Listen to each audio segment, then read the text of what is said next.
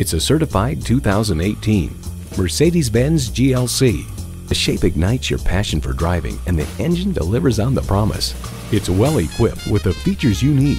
Intercooled turbo inline four-cylinder engine, four-wheel drive, streaming audio, memory steering wheel settings, dual zone climate control, auto dimming rearview mirror, external memory control, remote engine start, power telescoping steering column, auto tilt-away steering column, and memory exterior door mirror settings.